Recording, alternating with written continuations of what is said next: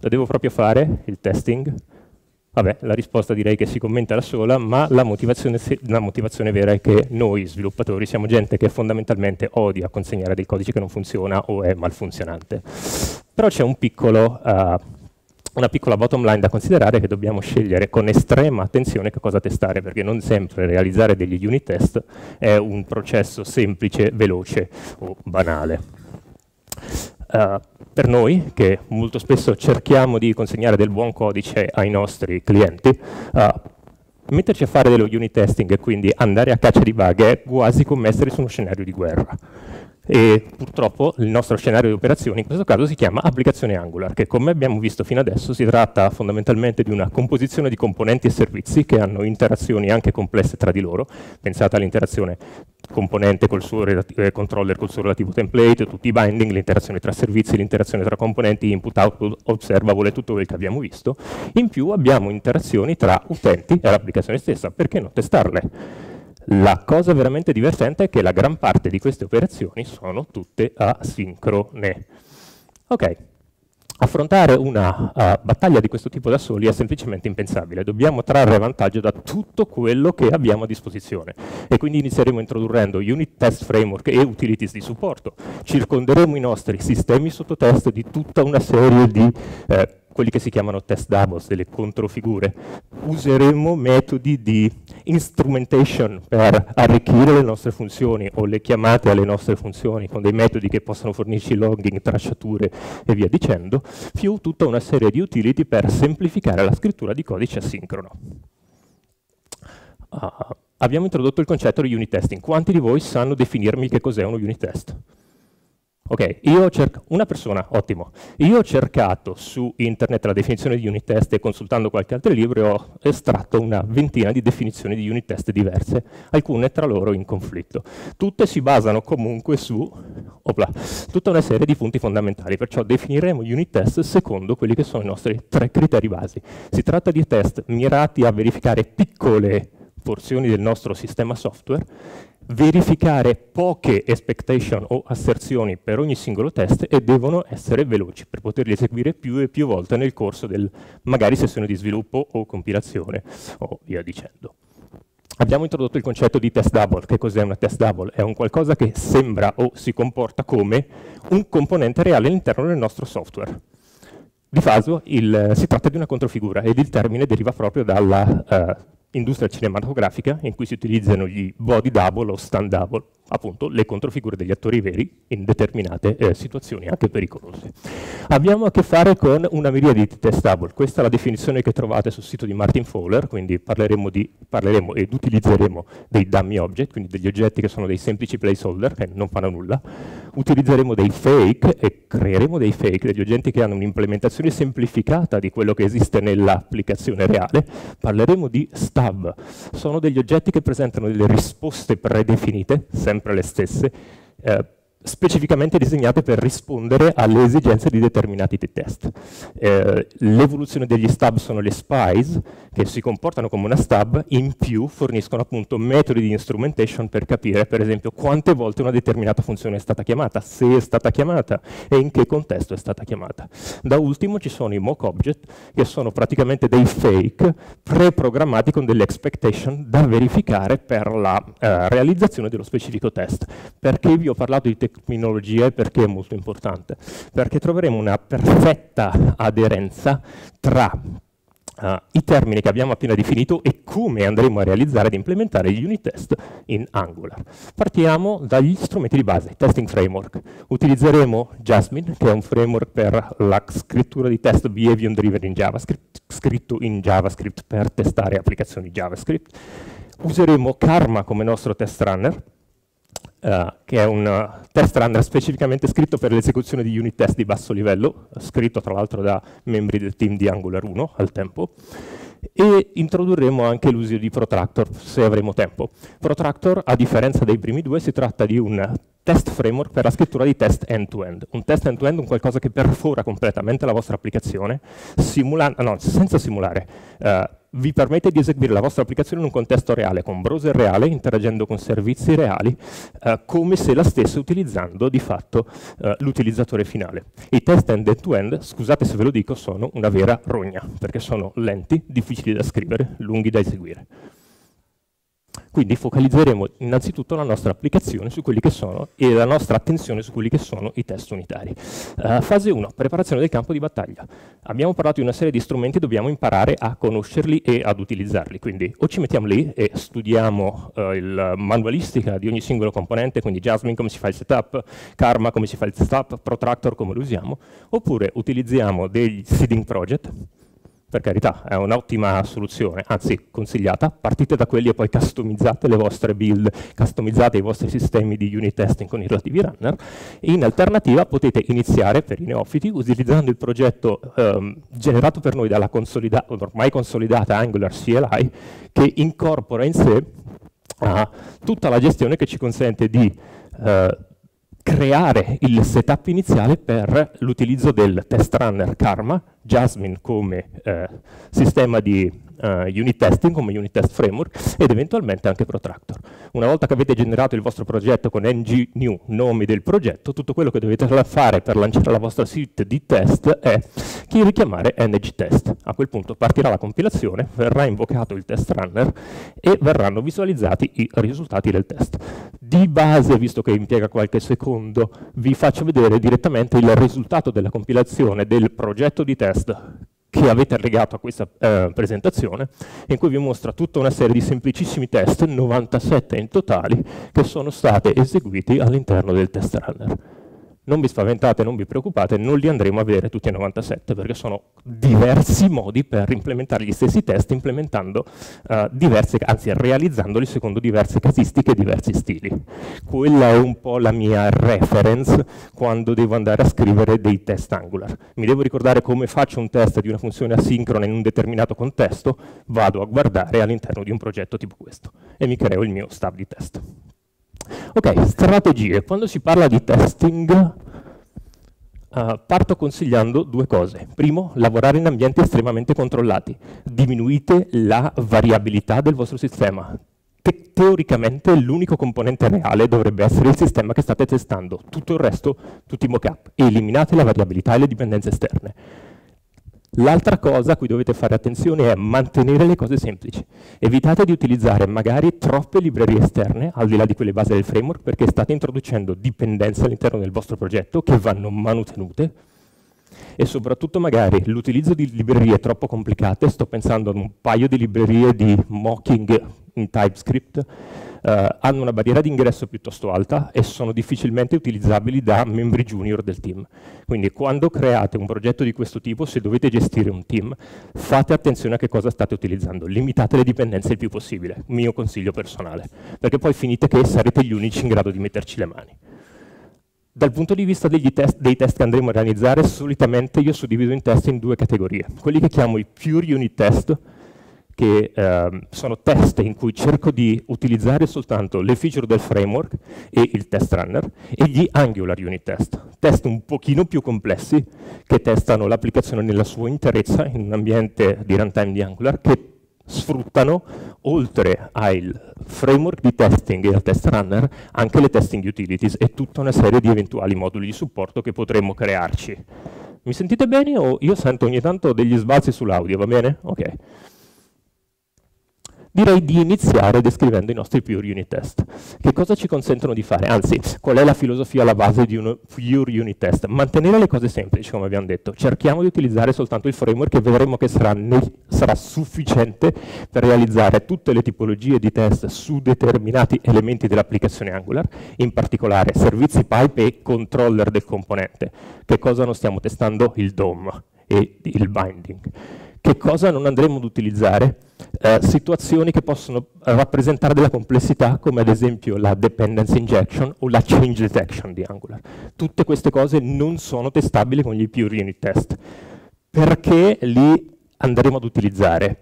Perché di base ci consentono di introdurre determinate tecnologie e metodologie che potremmo poi riutilizzare in altri test ed anche perché in molte circostanze, a seconda di quello che vogliamo testare, potrebbero essere sufficienti da soli a coprire determinate sezioni critiche della nostra applicazione, ad esempio la business logic.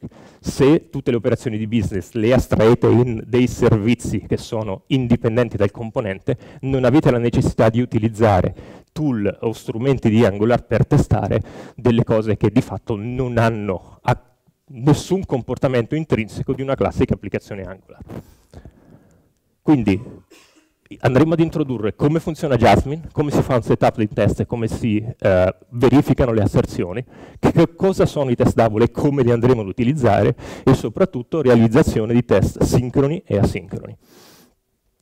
In tutto questo consideriamo che abbiamo un ulteriore reato che si chiama TypeScript. Molti lo bistrattano, la realtà delle cose è che per colui che scrive il test è un grande eh, alleato ed è un gran vantaggio. Innanzitutto perché introduce il concetto di type checking, quindi uh, e di code navigation e di refactoring, oltre all'IntelliSense.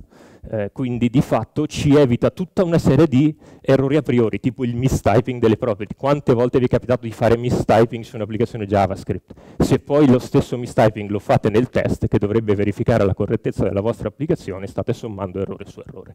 L'altra cosa è che se scriviamo la nostra applicazione in TypeScript e siamo bravi, utilizziamo tutti i componenti rispettando il type checking per le chiamate a funzioni, magari tutta una serie di test, per quanto triviali, ma che porta via tempo a realizzare, come la verifica verifica del che cosa succede se chiamo la mia funzione con un parametro non consentito, potete magari evitare di farli e concentrarvi invece più vicino, più lontano. Ok, così è meglio?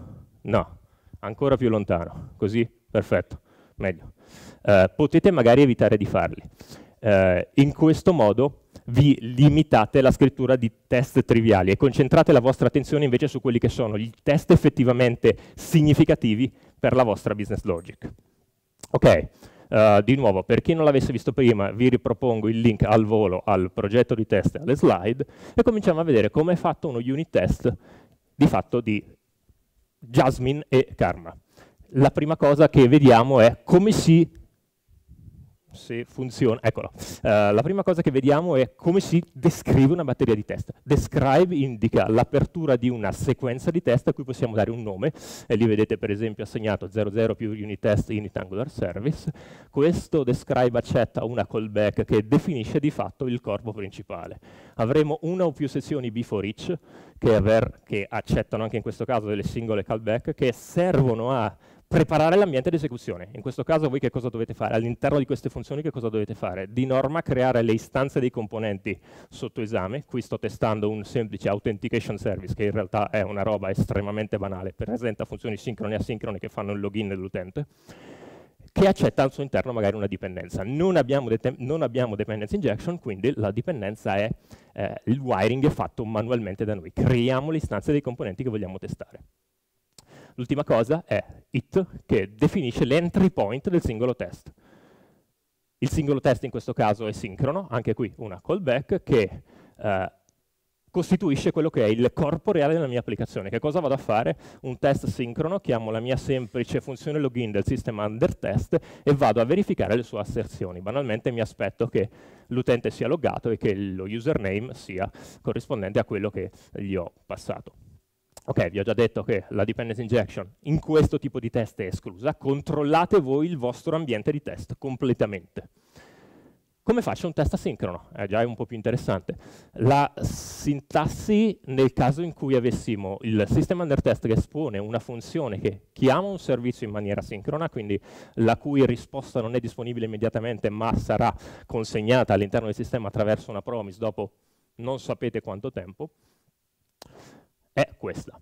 In questo caso Jasmine si attende come primo parametro della funzione di callback che definisce il test eh, che voi eh, richiamate, anzi definiate un parametro denominato done. La done function è quella che Jasmine utilizza per di dire a questo punto il mio test è completato, eh, posso passare al successivo perché altrimenti uh, lui uh, non saprebbe come determinare che tutte le operazioni asincrone che voi volete testare siano terminate all'interno del test. Jasmine ha un timeout predefinito per l'esecuzione di ogni singolo test, se lo sforate dichiara il test fallito. Quindi dovete chiamare la funzione done entro un limite ragionevole di tempo possiamo trarre vantaggio da TypeScript per scrivere questo test asincrono in maniera un pochino più lineare, un pochino più leggibile. Uh, immaginatevi il classico effetto albero di Natale delle promise che si concatenano una dietro l'altra a ripetizione su un test molto complesso. In questo caso abbiamo una singola chiamata, quindi l'effetto non è molto visibile, ma usando le keyword async await assieme alla funzione don di JavaScript, eccola, assieme alla funzione done di JavaScript eh, possiamo scrivere lo stesso test con una sintassi che è un pochino più comprensibile per sviluppatori che magari non sono abituati a gestire situazioni di eh, asincronicità qual è il problema uh, relativo alla funzione done. Se vi dimenticate di chiamarla, molto spesso succedono delle cose che sono abbastanza discutibili. Per esempio, vostra, il vostro test viene marcato come completato correttamente anche se le expectation sono palesemente errate o palesemente fallite.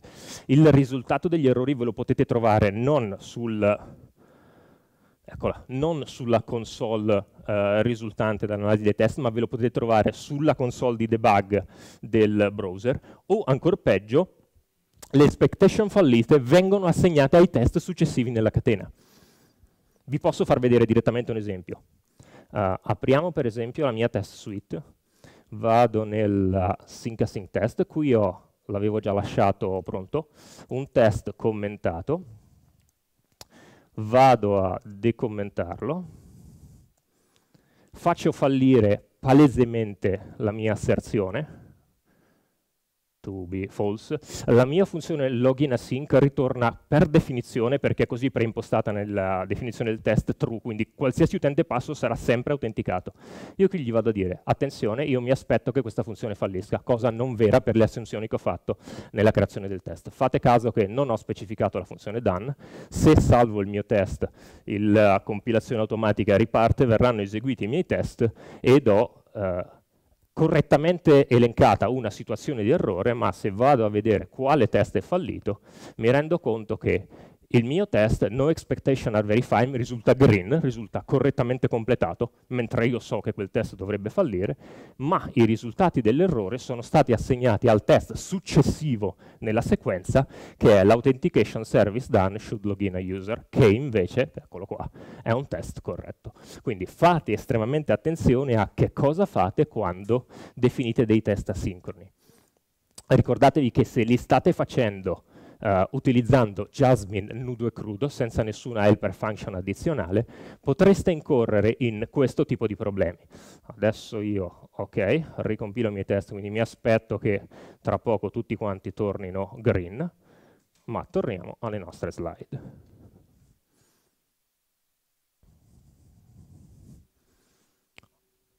Stub object Uh, fino adesso abbiamo visto che cosa succede se utilizzo il mio servizio reale con tutti i servizi reali. Io ho creato in precedenza l'istanza di un authentication service reale, ma se voglio creare un test, come vi dicevo prima, quello che devo testare è soltanto il componente che desidero testare, nel mio caso l'authentication service, e tutte le sue dipendenze devono essere degli oggetti di mockup.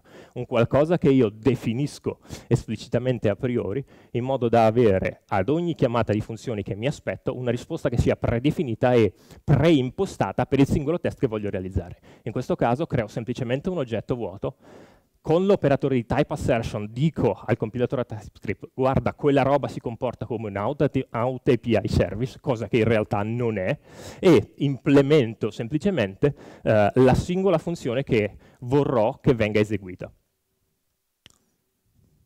L'evoluzione del, dello stub object è eh, l'utilizzo delle spy. Uh, possiamo ottenere lo stesso risultato utilizzando le feature esposte da Jasmine, che ci consentono appunto di installare delle spy su quelle che sono delle funzioni del servizio reale. Notate un attimo questa inizializzazione. Okay? In questo caso io sto utilizzando il mio out API service reale, non lo stub che ho definito prima, e lo sto iniettando all'interno del mio authentication service. Quello che faccio nella riga successiva è utilizzare Jasmine per dire, ok, dato mio la mia dipendenza del servizio reale. Per favore, mi installi una stub sulla funzione di login. Questa operazione installerà tutta una serie di instrumentation function che mi consentiranno di, come vediamo in questo caso, modificare il comportamento della funzione runtime e dirgli ok, la mia login async function in questo test deve ritornare sempre false, perché magari voglio testare che cosa succede se il login dell'utente fallisce.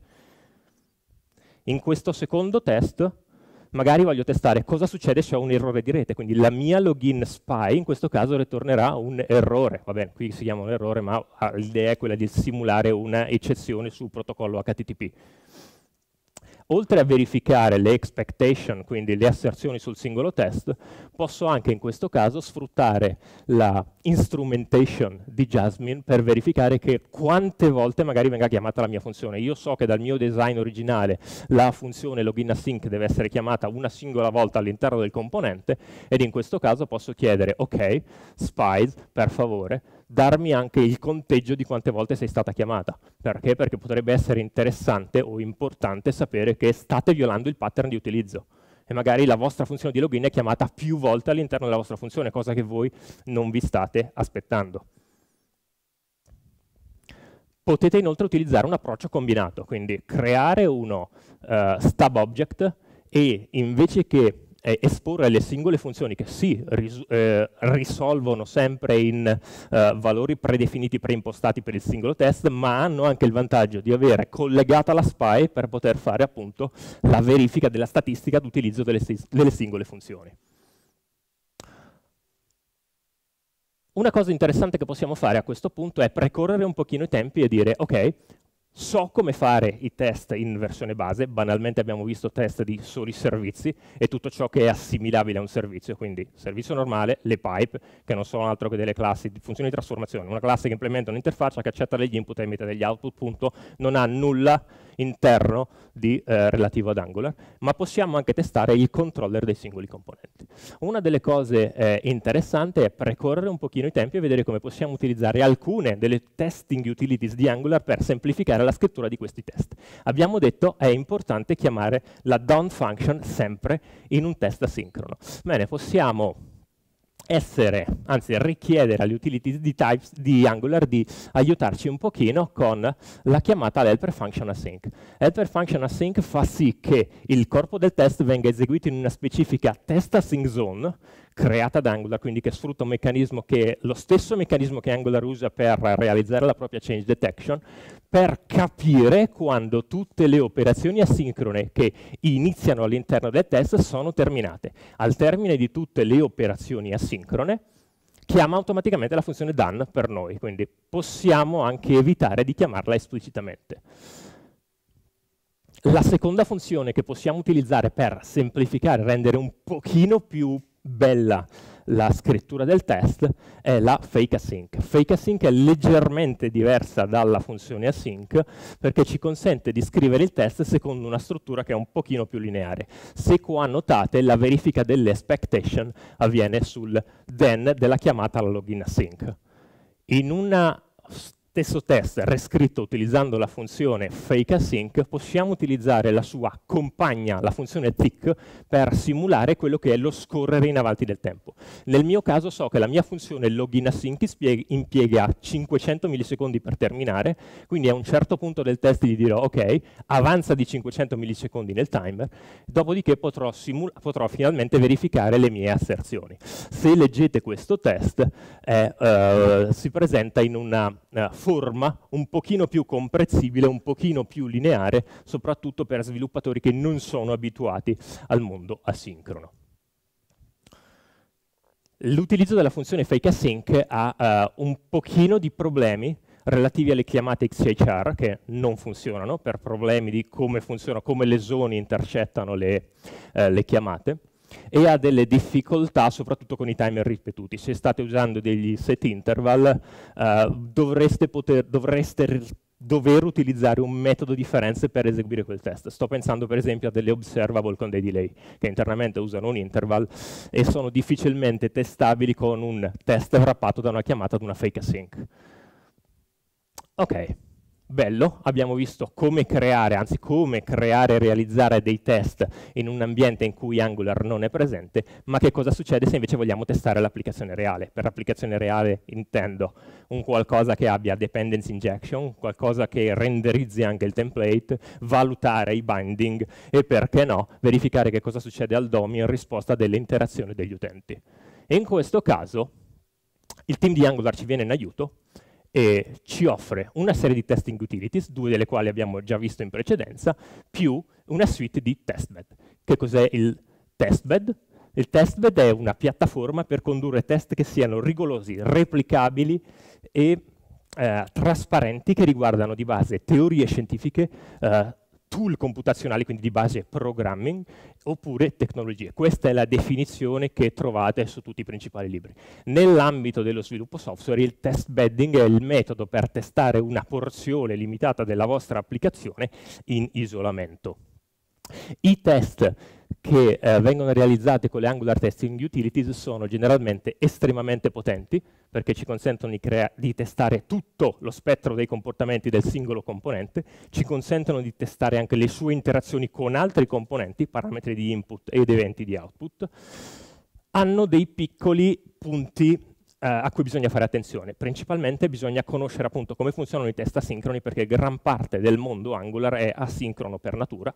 Pensate tenete sempre in mente come funziona la change detection, dobbiamo inoltre considerare che la fase di inizializzazione dei test può essere estremamente più complessa di quella che abbiamo visto in precedenza, perché avremo a che fare con la configurazione dei relativi moduli di testing. Le testing utilities sono disponibili se importiamo Angular Core Testing, abbiamo detto la sua API principale è TestBed, la funzione di questa API è quella di renderci disponibile un ng module generato dinamicamente, specificamente configurato per rispondere alle esigenze del nostro test. Quindi avremo Uh, definito e registrato il nostro componente principale più tutta una serie di test double a supporto per la realizzazione uh, della, delle verifiche che vogliamo andare ad implementare qual è l'API di testbed. Di base c'è configure testing module. Accetta un oggetto che è una metadata, anzi un, eh, che, eh, che, rappresenta dei metadati che sono eh, molto molto simili a quelli che utilizzate nella definizione dell'engine module classico, quindi avrete la lista dei component, avrete eh, la lista dei provider, avrete gli import per poter importare altri moduli e via dicendo.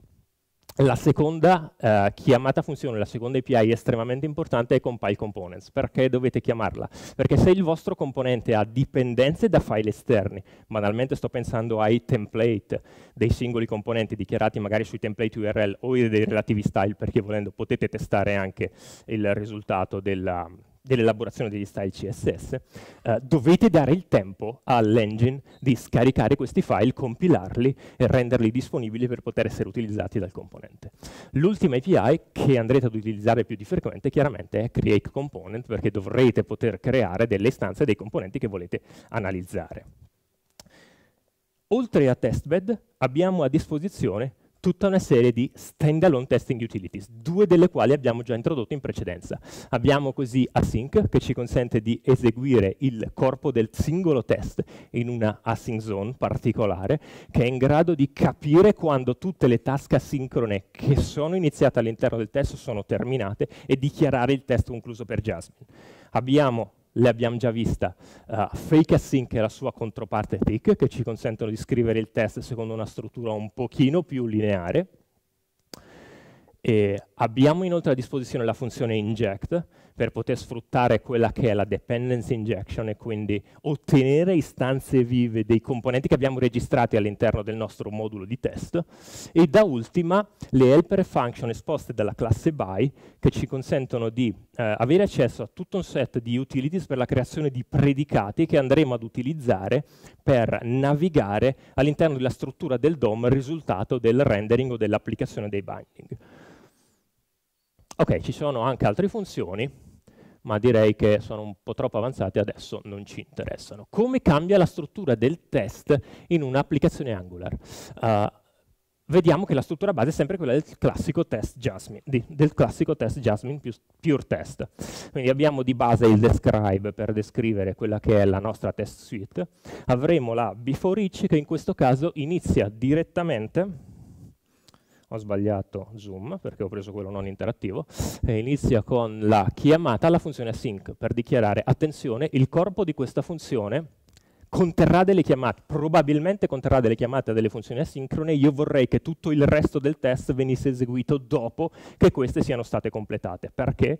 Perché di base la fase di inizializzazione del test appunto può eh, contenere delle funzioni asincrone. E dicevamo prima, lo scaricamento dei template se sono dichiarati su file esterni e la relativa compilazione del fake testing module che andiamo a creare. Quindi, dopo aver dichiarato la configurazione dei moduli, banalmente in questo caso è il singolo test del componente standard generato dal uh, progetto base della Angular CLI, che conterrà un solo componente chiamato AComponent, l'equivalente delle, delle low world, tanto ci avrete giocato tutti quanti con l'Angular CLI, saprete come è fatta a memoria. Quindi, dopo aver chiamato la configure testing module, viene chiamata la compile components, la compile components ha il piccolo side effect di bloccare la configurazione del modulo. Una volta che voi avete chiamato uh, compile components, non potete più intervenire sulla configurazione degli elementi del test che avete creato. Quindi se dovete iniettare nuovi elementi, nuovi servizi, non potrete più farlo. Tenete conto di questo fatto. Oppa.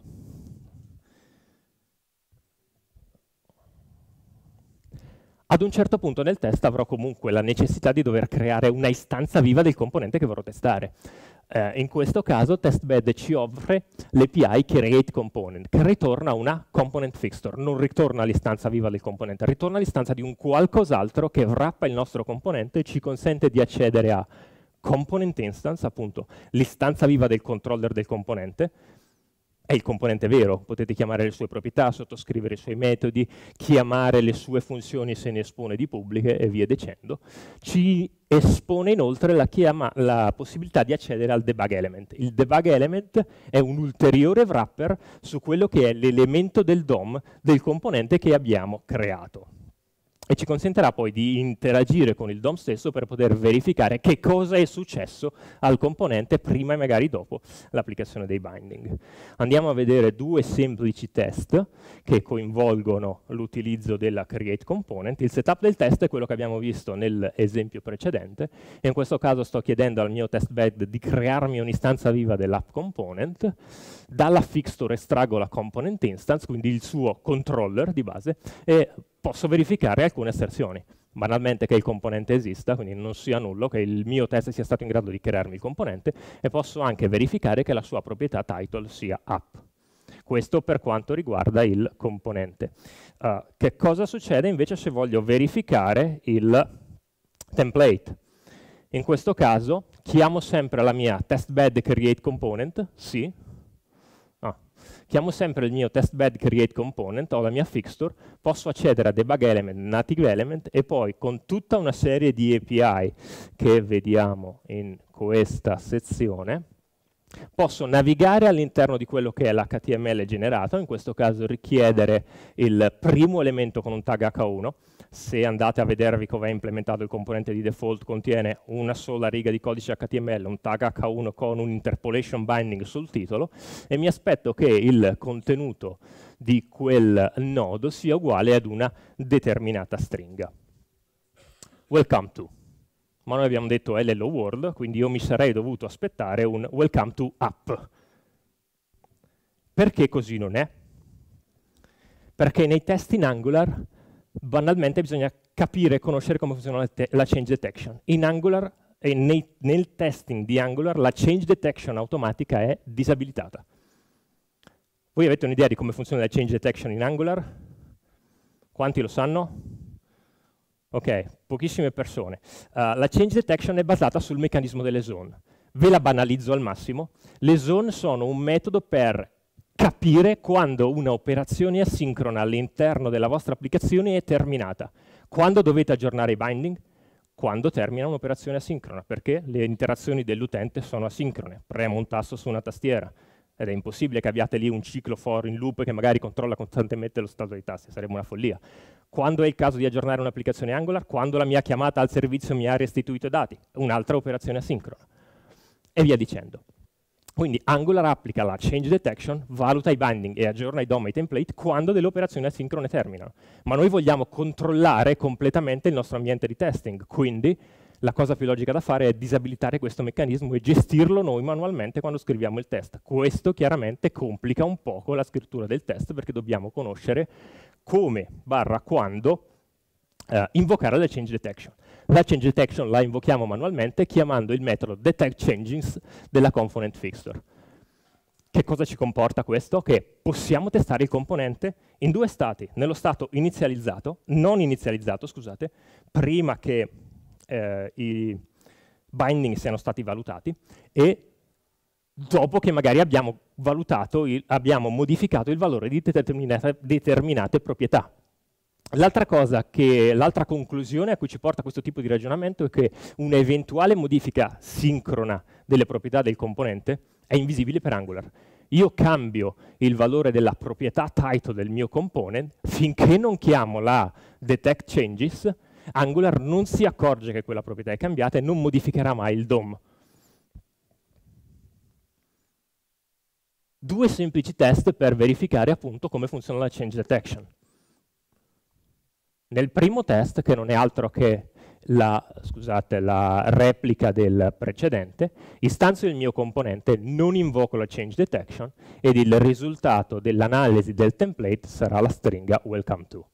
Nel secondo test in cui dopo aver creato il componente esplicitamente dico ad Angular, per favore, change detection, fai tutto quello che devi fare, mi aspetto in questo caso che il template sia, sia cambiato e il binding sia stato valutato e la uh, modifica del uh, contenuto del tag h1 sia completa, quindi andrò a verificare che il contenuto sia in questo caso welcome to app. E se il mio componente ha delle dipendenze? Come prima abbiamo visto, il nostro servizio che wrapper attorno a un out API service che di fatto faceva le chiamate al servizio API reale. Eh, le tecniche per testare questo tipo di situazione sono esattamente le stesse che abbiamo visto in precedenza, quindi andiamo ad utilizzare degli stub, quindi creiamo noi i nostri oggetti che andremo ad iniettare all'interno di Angular, oppure andiamo a creare delle spies sul componente reale per poter modificare il comportamento della chiamata funzione, o come prima andremo a crearci un oggetto che è la combinazione di uno stub più delle spies perché magari vogliamo controllare anche le statistiche di utilizzo delle funzioni, perché magari l'utente mi viene autenticato, ma per quale motivo il mio authentication service deve chiamarmi la funzione di login due volte? Quindi a seconda di quello che volete verificare scrivete il vostro test. L'unica differenza è che in questo caso andremo ad utilizzare la dependent injection di Angular. Ma se noi iniettiamo qualcosa all'interno di un test, mi aspetto prima o poi di dover interagire con i componenti fake che ho iniettato perché magari voglio cambiarne il comportamento prima di ogni test per verificare diverse asserzioni. In questo caso come ottengo delle istanze dei miei servizi fake? La cosa più giusta da fare secondo la specifica di Angular, è quella di ottenere l'istanza del servizio direttamente dall'injector del componente. Voi tutti sapete che Angular ha il concetto di gerarchia di iniettori. Ogni componente ha il proprio injector, che è in grado di servire istanze diverse di, di eh, servizi e delle proprie dipendenze a seconda di come è stato configurato rispetto all'ng module a cui appartiene. L'altra alternativa è utilizzare di nuovo un metodo della test bed, il get, quello che abbiamo, uh, l'equivalente quasi di quel del create component che abbiamo visto in precedenza, ma in questo caso serve ad ottenere un'istanza di un oggetto servito, anzi registrato uh, nella lista dei provider e non nelle declaration oppure utilizzare la helper function inject di cui abbiamo parlato in precedenza. Vediamo queste cose direttamente in azione. Ok. Consideriamo questo test in cui ho definito il mio stub object, di nuovo, il sostituto per l'out service stub, praticamente è lo stesso test che abbiamo realizzato prima nel pure testing mode, quindi senza Angular, proviamo a replicarlo se dovessimo usare tutta l'infrastruttura di Angular. In questo caso voglio utilizzare, eh, voglio testare un greetings component, quindi un componente di Angular che mi saluta, ciao, sono Alessandro, mi sono loggato, che accetta come dipendenza il mio authentication service. Quindi utilizzo la dependency injection di Angular, e non sto qui a spiegarvela perché dovreste conoscerla, in cui dico, ok, per qualunque componente che richieda un'istanza dell'authentication service, servigli, anzi dagli, il mio stub. Dagli il mio stub. A quel punto posso, nella before each successiva, creare l'istanza del componente, estrarne la component instance perché magari vorrò testarla. Uh, come accedo, abbiamo detto, alle istanze del servizio che ho iniettato, lo stub, per poterlo pilotare per la realizzazione del test. La cosa giusta da fare è questa, tramite la Fixture Debug Element Injector, quindi tramite l'injector dell'istanza del componente che ho creato vado a richiedere l'istanza dell'authentication service che gli è stata consegnata. In alternativa posso usare la testbedget o la funzione di inject per ottenere lo stesso risultato. Perché in questo caso funziona? Perché eh, lo stub è stato registrato a livello di modulo e non di singolo componente. Se il eh, lo stub fosse stato registrato soltanto per l'istanza del greeting components, quindi co eh, fosse comparso solamente nella providers list dei metadati del componente, l'unico metodo effettivo che mi avrebbe restituito un'istanza concreta del eh, servizio in esame per poterne poi alterare il funzionamento sarebbe stato il primo, quindi ottenerlo tramite l'injector del componente. Come faccio async testing, che tutto sommato è una delle cose più interessanti. Anche in questo caso valgono le stesse tecniche che abbiamo visto prima, quindi il testing asincrono ricordandosi di chiamare la funzione done di Jasmine, oppure possiamo utilizzare le due funzioni che abbiamo introdotto in precedenza, la async e la fake async.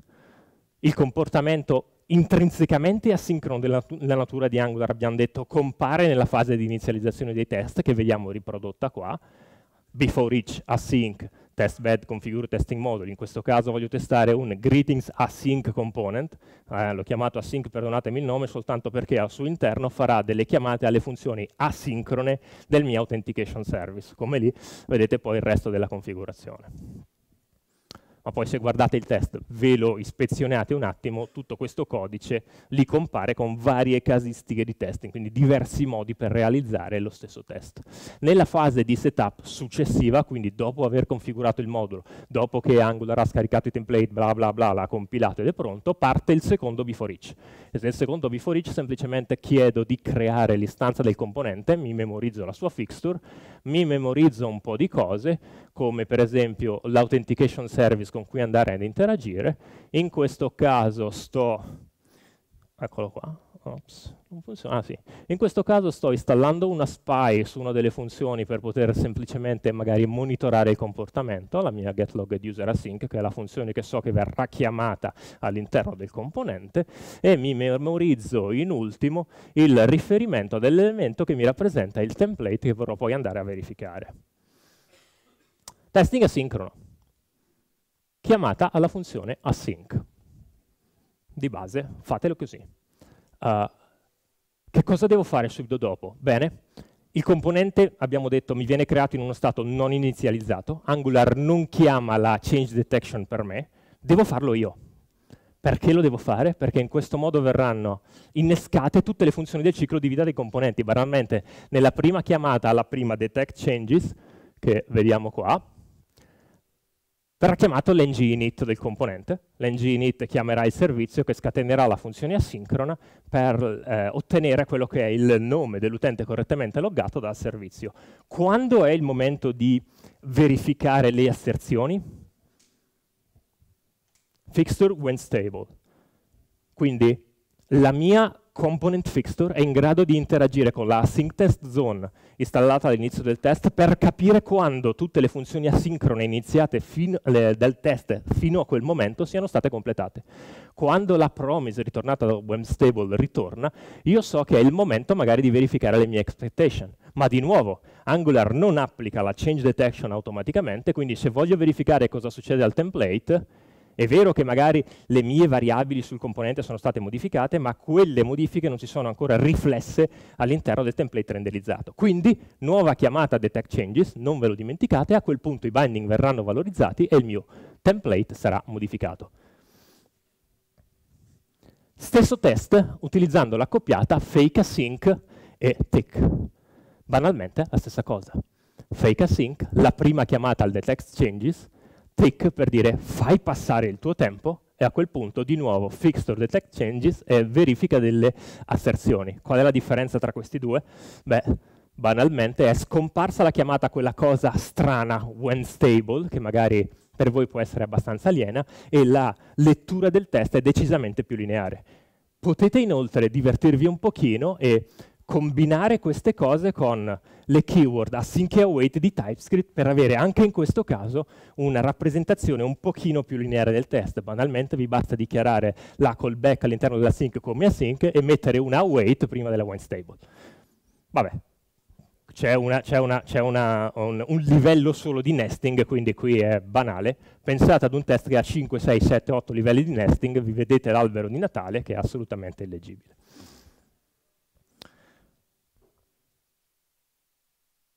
Sono casi in cui comunque è necessario ricadere nella, uh, stan nella, metodologia standard di realizzazione di test asincroni di Jasmine. Banalmente, mi capita molto spesso, quando testo delle observable che hanno dei delay con i timer. Perché? Perché se uso async o fake async in quei casi, uh, zone va in errore, quindi il test non viene eseguito, crash anche il browser in molti casi. L'unico modo che ho per fare quei tipi di test è installare delle spies, monitorare che cosa succede alla spies, eh, quindi eh, grazie alla sua instrumentation è in grado di espormi una promise che verrà risolta quando quella chiamata termina, posso a quel punto decidere quando è il momento di chiamare la change detection e verificare le mie expectation.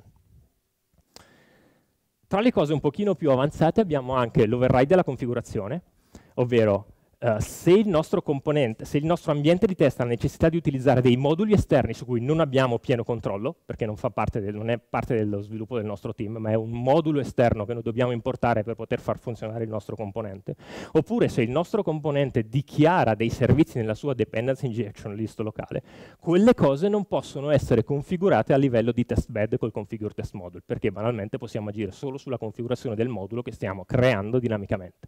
In questo caso test bed ci offre offre una serie di API di override per poter sovrascrivere quella che è la configurazione preimpostata del modulo esterno. In quel caso sulla destra vedete un esempio magari di eh, un qualcosa che sta cambiando la configurazione del myComponent e sta sostituendo il suo service dichiarato nella sua providers injection list locale con una classe service py che magari implementa tutte le tecniche che ho visto in precedenza. Come testate dei componenti generati dinamicamente, gli entry component. Testbed, di nuovo, non vi offre un'API per configurare i testing component. Il workaround è banale. Create un fake test module da usare come test, dichiarate i vostri entry component all'interno di questo fake module e lo importate all'interno del modulo di test eh, creato nella configure testbed. Come si testano input e output di componenti? Avete due modi, la base è istanziate il vostro componente, come abbiamo visto fare fino adesso all'interno dei nostri test.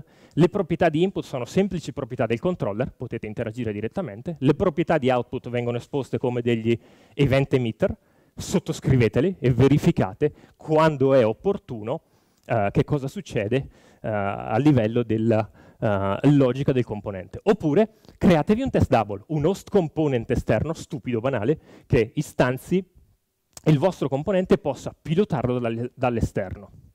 Da ultimo, una parola sul code coverage. Uh, code coverage che cos'è? È una misura del grado di copertura del vostro codice, del vostro codice eh, che avete ottenuto da tutta l'esecuzione dei vostri test. Di nuovo, la CLI vi consente di avere, l'Angular CLI vi consente di avere un ambiente preconfigurato per l'esecuzione anche dell'analisi del code coverage sugli unit test che avete eseguito. Tutto ciò che dovete fare è richiamare l'ng test con quella sequenza di parametri che avete in, in esame. E da ultimo, è molto molto comodo integrare l'esecuzione dei vostri test nella vostra uh, gestore di ciclo di vita dell'applicazione del software. Quindi avete un sistema di continuous integration, build continue, perché non fargli eseguire continuamente i vostri test, magari ad ogni commit, o magari quando decidete voi. Il trucco è configurare Karma e eh, i test runner per poter emettere il risultato di test su dei file che siano parsabili dal sistema di continuous integration che state utilizzando. Nel mio caso utilizzo molto spesso Visual Studio Team Services, queste sono le banalissime modifiche che dovete fare ai file di configurazione uh, sulla sinistra di Karma per dirgli ok, emettimi i risultati degli unit test in formato NUnit, perché per me è eh, noto, so come parsarlo, e mettermi il formato di, di, dei test di code coverage nel formato copertura, che è noto a Visual Studio Team Services, ci scriviamo una semplicissima az azione eh, in modo da poter richiamare la sequenza dei test col node package manager run VSTS test, magari in questo caso l'ho chiamato, verranno eseguiti i test una sola volta, verrà eseguita l'analisi, verranno eseguiti gli output su dei file esterni, poi e chiudo. Quello che dobbiamo fare è semplicemente andare nel nostro tool di continuous integration, configurarlo per recuperare le sorgenti, configurare il, eh, anzi eseguire l'npm install dei package, eseguire il run della suite di test e poi parsare i risultati per la pubblicazione dei test di code coverage di unit test. Il risultato è che ad ogni magari commit all'interno del sistema i test verranno eseguiti e avrete direttamente a Visio nel sistema di reportistica per i vostri amministratori eh, o magari anche il vostro project manager dello stato del ciclo dell'andamento della salute del vostro progetto. Uh, che cavalcata, eh? E quindi voi potete dire, ok, so come fare i test in Angular. Che cosa voler testare a questo punto è tutto un altro discorso che però è al fuori dello scopo di questa talk. Allora, vi lascio con uh, l'indirizzo che vedete all'inizio in questa slide, che è il link al joined in, per poter di nuovo esprimere la vostra opinione su quello che è l'evento, magari su anche la mia talk. Sono un ragazzo sensibile, siate clementi. Se avete delle domande, sono in giro ancora per un po', forse avrete delle risposte se le conosco.